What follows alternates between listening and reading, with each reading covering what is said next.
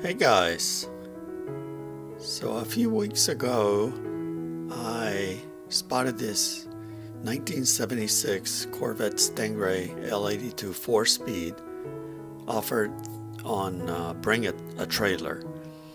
So I registered uh, for the for the auction and uh, it was a very interesting car because first of all it, it only had 6800 documented miles which is very rare. It was a base car, really. Um, vinyl seats, manual windows, yet it was an L82 with a four speed transmission, no AC. So that was pretty interesting. I guess the person who ordered the car was trying to get as much power out of the L82 back in 1976 anyway, uh, the car was hardly ever driven. You know, that's why it had such low mileage. And um, anyway, um, I, I, placed a couple of bids, but um, I didn't have a, a, chance. I thought it was it would sell for at least twenty thousand, and actually sold for a bit more.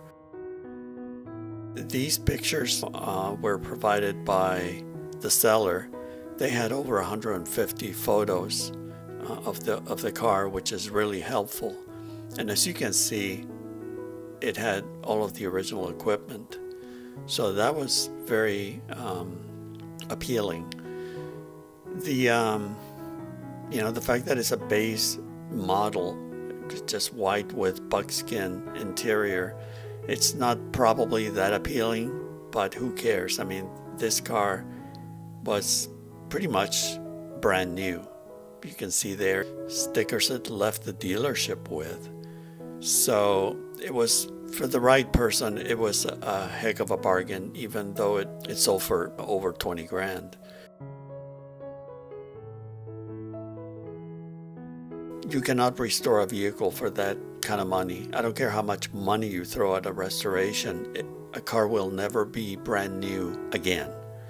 They're only brand new ones.